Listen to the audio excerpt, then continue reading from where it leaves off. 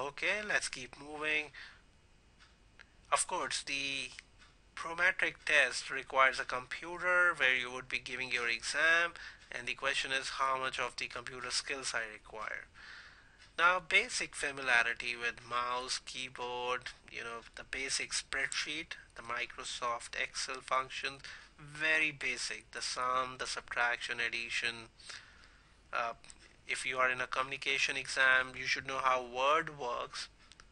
Okay, how to indent, how to capitalize, uh, basic learning of Word, text editor, right? And finally, you should know how a calculator works and what are the various functions of a calculator.